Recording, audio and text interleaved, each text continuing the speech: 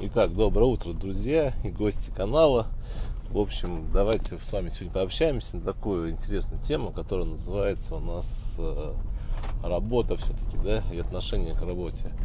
Я вот э, почему вот записал, решил записать эту тему, потому что общаясь э, с, например, с теми же самыми работодателями, они мне говорят одно, да, если мы общаемся с теми, кто пытается устроиться на работу, они говорят другое. И вот есть такие да, скажем, есть образно продается покупатель, и почему-то между ними какая-то пропасть мешает им встретиться. Так вот, э, давайте все-таки посмотрим, какие прежде всего ну, нужны сотрудники, да, любому работодателю. А, ну, конечно, нужны амбициозные, да, инициативные, нужны э, нацеленные на результат, да, ну, нужны работоспособные. Такие, конечно, нужны. Они нужны всем, и все. А другое дело, какие сейчас на данный момент у нас э, соискатели. Соискатели – те, кто пытается устроиться на работу. Конечно, это полная противоположность тому, что хотят от него. Вот я многие слышу от многих, да я за эти деньги даже из дома не выйду. Да я работаю ровно настолько, сколько мне платят. Да, и вот такие вот непонятные, дебильные вот эти, вот, э, эти отмазки. Я как считаю, что если ты подписался, например, за 20 тысяч рублей пойти и работать с кем-либо, ты должен полностью свои эти 20 тысяч рублей отрабатывать по сам и не хочу, да, вот как бы. Если ты изначально, например, шел на 50 тысяч рублей, а тебе стали платить 20 тысяч рублей, ну, да, но опять же, я думаю, что всегда можно найти компромисс, всегда можно договориться с э, работодателем и так далее и это не является основанием брать и не работать. Откуда у нас сейчас появилось такое, что у нас э, ну, люди не хотят зарабатывать, не хотят э, работать? Ну, скорее всего, пошло это от того, что у нас всю жизнь мы при социализме да, работали за норму часы норма часы, норма дни, и до сих пор некоторые организации, да, в том же самом Орске, в Оренбурге, может быть, даже в Челябинске, в Екатеринбурге, до сих пор работают за норму часы. Да, вот, например, если брать, например, тех же самых преподавателей, они работают за тоже образно за норму часы. Есть определенная ставка, да, ставка 18 часов в неделю, вот на одна ставка, да, Хочешь зарабатывать больше, бери две ставки. Хочешь зарабатывать еще больше, бери три ставки. И так, и так далее. Но ну, вы прекрасно понимаете, что когда человек работает там на 3-4 ставки, это не значит, что он отрабатывает все на 100%. И мы замечаем с вами, да, есть, например, у нас несколько учителей в школе, да, у одного ну, детишки знания хорошие получают, и у нас э, участвуют они в олимпиадах, да, и всевозможные выигрывают, да, и спокойно сдают свой предмет и зарабатывают определенные деньги. А второе, может быть, учительница там, у него может быть даже категория выше, даже еще что-нибудь, какое-то звание больше, все. А дети, так скажем, не осваивают его предмет. А по сути, кажется, предмет еще легче, чем такой. Ну, зарплату может тот человек получать гораздо больше, потому что у него там может быть больше нагрузка, больше еще что-нибудь, понимаете? Э, например, если, например, в управлении образованием в принципе по барабану, и они готовы держать себе и такого педагога, и другого педагога, да им по барабану, да, нужно закрыть вакансии, то в случае с э, частным предпринимателем, да, или в случае с организацией, которая принадлежит к частному лицу, то, конечно, ему его такие варианты точно не устроят. Поэтому отсюда сами делайте выводы. Хотя я понимаю, что те люди, да, кому сейчас, почему не берут людей за 45, да, кому, у кого возраст больше, чем 45 лет, да, больше, чем 50 лет, почему не берут, да, хотя они вроде амбициозные, все. Да потому что они были воспитаны социализмом, привык им э, клещами в голову впили, что они должны работать за норму часы, что должен быть какой-то трудовой кодекс, что должен быть еще что-нибудь. И вот так вот, понимаете, и вот этот у них этот с головы ничем не выбьешь, вот этот, вот этот не сломать менталитет, не сломать отношения Понимаете? Поэтому вот их и не берут. Э, очень тяжело. Большинство почему тоже не берут педагогов, потому что педагоги изначально работают не на результат, а за, за норму часы. Да? Есть понятие ставка, две ставки, три ставки, полторы ставки и все. Вот отсюда вот как раз вот и получаются такие моменты, потому что очень тяжело перестроиться, работать, э, например, на окладе, да, а потом работать на проценте. Это абсолютно, ты работаешь просто на работу приходишь, да, а это тебе приходится работать, приходится с каждого часа проведенного э, на работе добиваться максимального результата, понимаете? Вот такая вот штуковина. Поэтому, поэтому, поэтому, поэтому, поэтому нужно либо в себе менять что-либо, да, чтобы зарабатывать, либо еще что-нибудь. Да, вот есть еще такое понятие э, трудоголик и так далее. Мне не нравятся такие названия по одной простой причине, потому что, как вам сказать, потому что когда ты подразумеваешь себя, что ты трудоголик, ты становишься каким-то рабом системы. А что такое раб системы?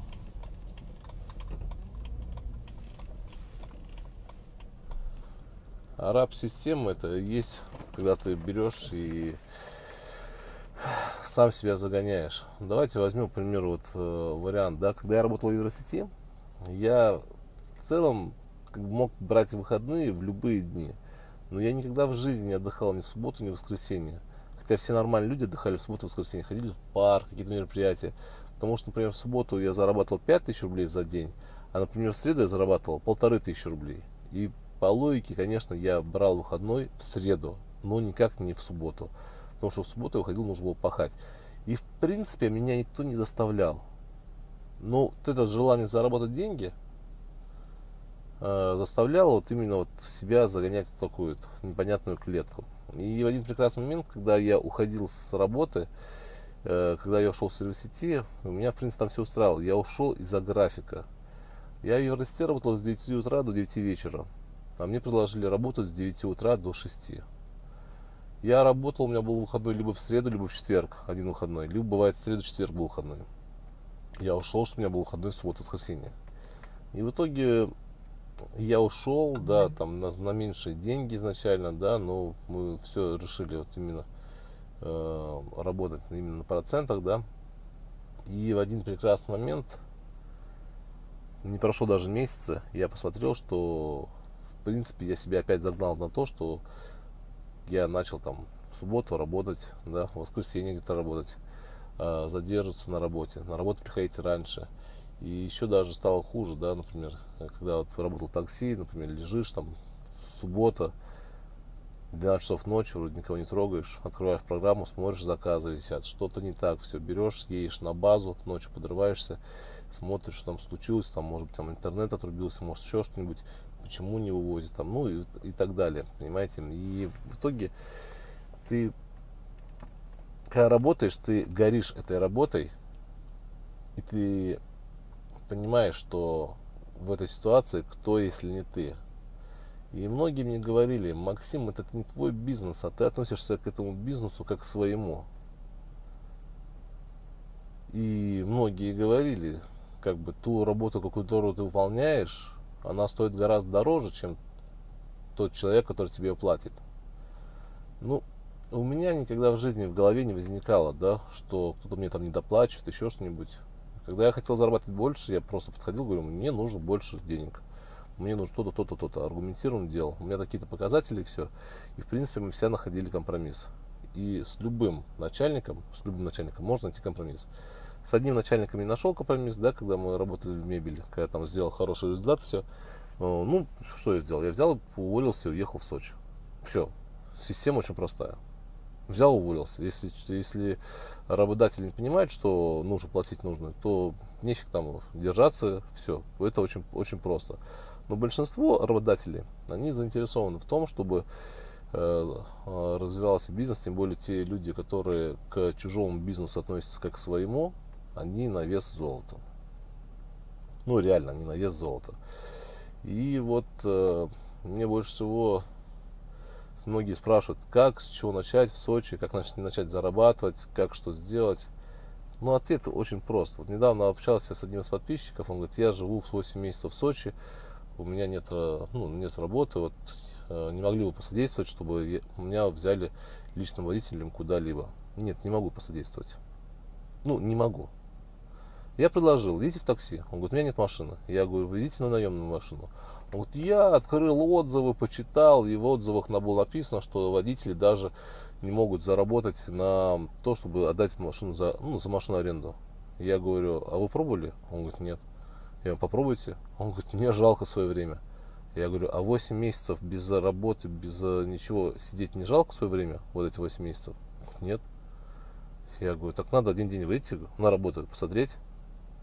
Я говорю, я знаю, что мне все таксисты говорят, точно 5000 рублей остается за день. Он говорит, нет, я почитал отзывы на разных ресурсах. Я говорю, я сам лично ходил на такси, я знаю, сколько я зарабатывал. Ну, я город не знаю. Я говорю, а как вы хотите работать личным водителем? Нет, ну я способный, я обучусь. Я говорю, ну значит, ты в такси, вы способны, обучитесь. Нет, это не то. Мне нужна стабильность, мне нужен оклад. Я говорю, а в Сочи окладов нету. Нет, ну может вы знаете, чтобы там где-то был оклад и так далее. Нет, не знаю. В Сочи все идет, э, в Сочи немножко этот город э, идет на шаг вперед, чем все остальные. У нас здесь капитализм. У нас здесь э, такие бартерские отношения. Все идет процентные отношения. У нас все, у нас даже уборщица не на окладе, а на проценте. Она пришла, убралась, получила свои 2000 рублей за уборку. У нее нет такого, чтобы там я платил ей там стабильно 10 тысяч рублей, и она знала, что она всегда обеспечит. Нет. Когда-то мне может уборка понадобиться, когда-то не понадобится, когда-то мне два раза понадобится, когда-то можешь заработать больше, когда-то можешь заработать меньше. Уборщица здесь зарабатывает, которая у меня убиралась раньше, до приезда Нади, она зарабатывала, она сказала, 60-70 тысяч рублей спокойно. 60-70 тысяч уборщица. Поэтому, когда многие из вас не могут найти работу, я могу сказать, что не хотят найти работу. Это сто процентов. Не хотят. Многие, еще раз повторюсь, особенно девочки, там, говорят, мы где-нибудь хотим на окладе. Нет, оклад провоцирует к тому, чтобы человек э, просто как бы деградировал. Оклад и деградация это синонимы. Кто бы я что ни говорил. Я ни одного не видел человека в мире, чтобы он работал на окладе и отрабатывал, и просто отдавался работе полностью. Ни одного человека не видел. И опять же, когда вы будете устраиваться на работу, много будет задавать вам вопросов, всяких разных, в том числе, э, какие у вас цели и так далее. Без целей не возьмут. Я приводил, вот, я не знаю, надеюсь, меня, на меня этот человек не обидится. Э, недавно была сделка, покупал квартиру для друга. И все. Он сейчас на данный момент работает в Сочи, подрабатывает в Сочи и работает в такси. У него есть норма, 2000 рублей в день он должен заработать, у него там только такое в голове. И все. А остальное время он посвящает семье, все, 2000. Знаю другого человека, который работает в такси, которого стоит, ему нужно заработать 3000. У другого 5, у другого 7. Все эти 4 человека зарабатывают свою норму. Кто-то 2000, кто-то 5000, кто-то 7000. Понимаете? Каждый зарабатывает, каждый для себя ставит какую-то цель, свой прожиточный минимум, и спокойно берут и зарабатывают. Теперь давайте зададим вопрос. То же самое у нас и Э, в риэлторстве, да, у нас у каждого есть определенные цели. У каждого есть, да, кому-то хватает заработать 50 тысяч рублей, кому-то хватает 100 тысяч рублей, кому-то 200 тысяч рублей, кому-то 500 тысяч рублей. Есть люди, которые заработали 100 тысяч рублей, так же, как я приводил пример такси, да, он быстренько заказ поймал до Красной Поляны, все, он уходит с линии. Он может еще заработать 2 тысячи, еще 3 тысячи, а ему все, больше не надо. Ему что нужно было, он заработал, понимаете? Это в голове. Искусственный потолок. Искусственный потолок, и все. Мне больше не надо. Я тоже сам видел в Евросети. У нас были люди, которым хватало 15 тысяч рублей. Они зарабатывали за месяц 15 тысяч. У нас были люди, которым нужно было 20 тысяч рублей. Они зарабатывали за месяц 20. Были, кому, которым нужно было 30 тысяч. Они зарабатывали 30 тысяч. А мне нужно было зарабатывать 100 тысяч. Я зарабатывал 100 тысяч. И 100 тысяч это было не максимум, а минимум мой. И мне всегда все говорили, Макс, куда ты столько, столько, зачем тебе столько денег? Зачем ты там в последний день так выкладываешься? А я не в последний день выкладывался. Я каждый день выкладывался, как будто это последний день моей жизни. То же самое здесь на работе. по большому счету, как бы, я сейчас могу сказать, что работая здесь, да, ну, я как бы скажу опять, я стал опять рабом системы. Раб я стал, ну, реально раб. Потому что я ухожу, вот сейчас время, да, время 6 часов, я записываю видео, 6 часов 15 минут, сейчас я зайду на тренировку, сейчас я позанимаюсь, потом поеду с одному клиенту, потом поеду документы сберу другие, все. Вот эти, у меня такой ритм, такой бешеный ритм. И по сути, когда у меня стоит приоритет, да, взять там, уделить время семье или клиенту, я уделяю клиенту. Потому что я прекрасно понимаю, кто, если не я. Если я не хочу для клиента уделить время, то любой из, риэлтор, из риэлторов тем более не уделит ему времени. И дочка говорит, вот, я говорю, дочка, давай поедем на рыбалку позже. Так почему? Я говорю, потому что мне надо встретить клиента с аэропорта. А что, он такси не знает? Я говорю, нет, надо встретить все. А что он будет покупать? Я говорю, нет, это просто турист хочет посмотреть город. Пап, ну ты же ничего не заработаешь, только потратишь свое время. Я говорю, дочь, говорю, я, наверное, ничего не заработаю, но клиент, когда захочет все-таки вернуться, там, например, продаст свою квартиру или еще что-нибудь, он вернется именно ко мне, потому что в данный момент я его хорошо все обслужил, все. И вот сейчас дочка стала понимать, потому что работа почти вся идет на перспективу. И, наверное, да, вот ну, у каждого должен быть какой-то лозунг, какой-то тезис, да. У меня, например, есть э, такое понятие, как ценный конечный продукт на моей работе, да. Это высококачественные риэлторские услуги, решающие этичные задачи клиентов в сфере недвижимости, в результате чего клиенты остаются довольны, желают вновь получить услуги компании и дают положительные рекомендации другим людям о нашем агентстве. Вы, наверное, понимаете, здесь э, вот этот тезис, да, вот этот, э, так скажем, этот постулат писал я сам лично. Но ключевое рекомендует наше агентство, хотя это не мое агентство, я работаю наемным работником. Но я к этой работе, к своей, отношусь как к своему, к своему бизнесу, понимаете? Здрасте. Чуть-чуть по деньгам выше не откажите. Без бензина стали, я не прошайка, ничего. Готов рассчитаться, сейчас до отеля доеду. Кого не спросить, Как с вами рассчитаться? Не надо с вами рассчитаться, сам бывал в такой ситуации. Сам бывал в такой ситуации. Все нормально. Все. Пожалуйста. И давайте, наверное, все-таки подведем итоги с вами. Подведем итоги. А, все-таки почему у нас там определенные люди добиваются результатов, другие не добиваются? Ответ очень прост.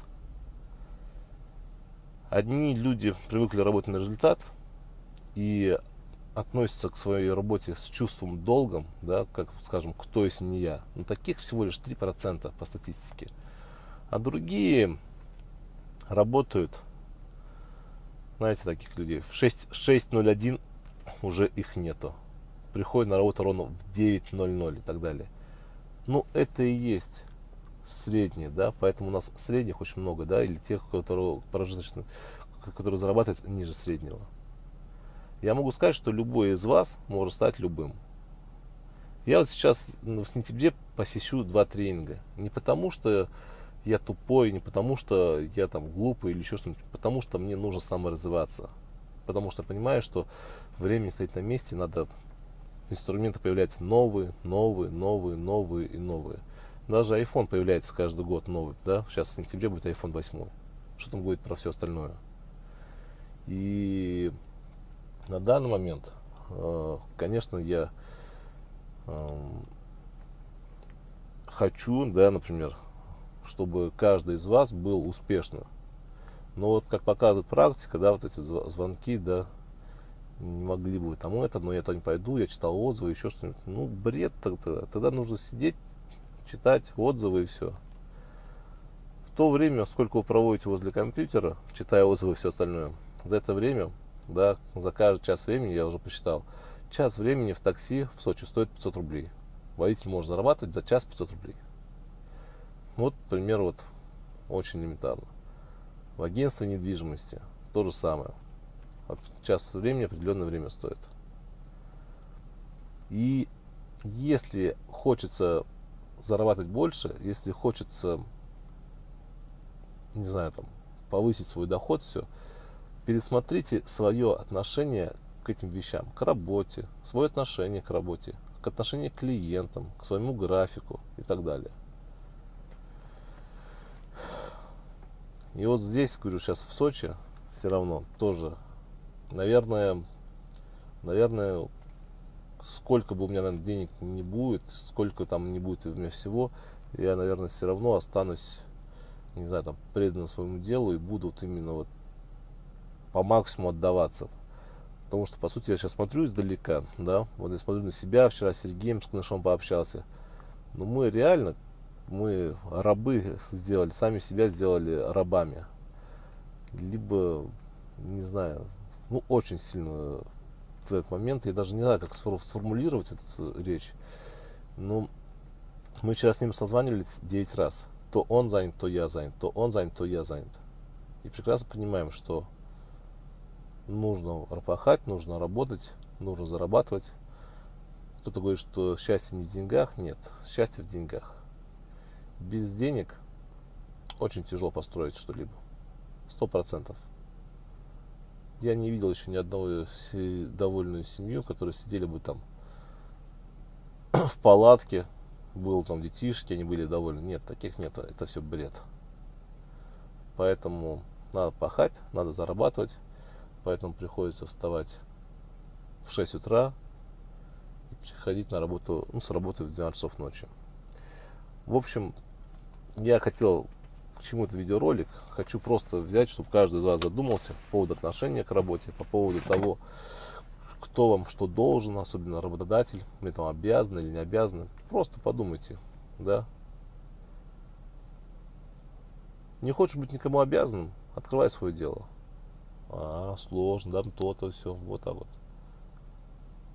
Но я могу сказать, если ты не можешь в качестве наемного работника доказать, ну, показать свой результат, то ты не сможешь и в качестве, ты не сможешь и в своем бизнесе. Если ты не умеешь работать в команде, ловить нечего, сто процентов. Все, теперь всем хорошего настроения, всем море позитива. Желаю всем хорошего, достойного заработка. Желаю пересмотреть отношение к вещам. Ну и желаю, чтобы вы все были счастливы. Пока.